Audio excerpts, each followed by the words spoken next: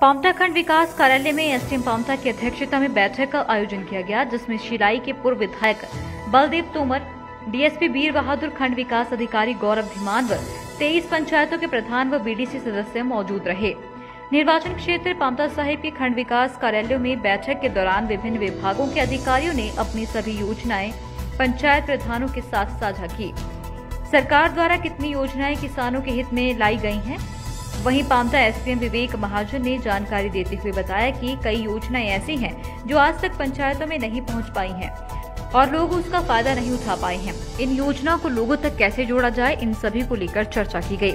शिलाई के पूर्व विधायक बलदीप तोमर ने मीडिया से बात करते हुए बताया कि शिलाई क्षेत्र, पहाड़ी क्षेत्र है। ऐसे में लोगों को सुविधाएँ पहुँचाने से पहले अपना दम तोड़ देती हैं। उन्होंने कहा कि केंद्र में मोदी सरकार और प्रदेश में जयराम सरकार के नेतृत्व में लोगों को कई योजनाएँ दी जा रही हैं। इन सभी योजनाओं का फ़ायदा पहुँचाने के लिए आज बैठक रखी गई थी।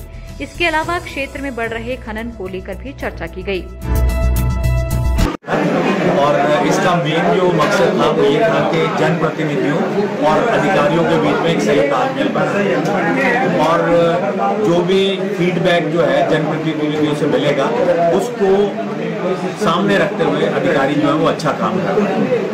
उसी संदर्भ में हर प्रकार का जो बजटरी एलोकेशन था और क्या बजट स्पेंड किया गया है, किस स्कीम में क्या प्रगति है, किस स्कीम में क्या रुकावट है, वो सब डिस्कस किया गया। और जो जनप्रतिनिधियों के जो भी रिलेटेड जो उनके समस्याएँ थी या उनकी कोई भी शिकायतें थी या कोई फीडबैक माध्यम से रखी थी। और आज सभी अधिकारीगण और हमारे पंचायतों के प्रतिनिधि सब इसमें शामिल हुए। और डिटेल में हर विभाग की हमने यहाँ पर चर्चा की है कि किस विभाग में कितना काम किन किन क्षेत्रों में हुआ है। उसके बारे में सभी विभागों ने पर अपनी जानकारी दी है और प्रतिनिधियों से मिलकर जो है, आने वाले समय में एक अच्छा कोऑर्डिनेशन पंचायत प्रतिनिधियों के बीच में और हमारे अधिकारियों के बीच में रहें। और उससे हमारे क्षेत्र में जो विकास के अधूरे कार्य पड़े हैं, उनको और तेज़ी मिले, जो कार्य चले हैं, उनको और तेज़ी गति से आगे बढ़ाया जाए। उस विषय पर आज हम लोगों ने यहाँ पर विस्तार पर चर्चा की।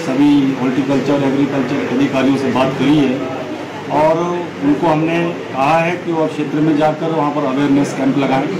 और जो सुविधाएँ किसानों के लिए मिलनी चाहिए वो जनता तक पहुँचे, किसानों तक पहुँचे, उसके लिए आज यहाँ पर बात कही गई है और एस साहब उस सबको मॉनिटर करेंगे। ये बात हमने आज बैठक में अधिकारियों के सामने रखी है। लाइव टाइम्स टीवी के लिए पामटा साहिब से दिवांश शर्मा की रिपोर्ट। हिमाचल के सबसे बड़ी ऑटो डीलरशिप गोयल मोटर्स में नौकरी करने का सुनहरा अवसर। सोलन, शिमला, सिरमौर और किन्नौर में चाहिए।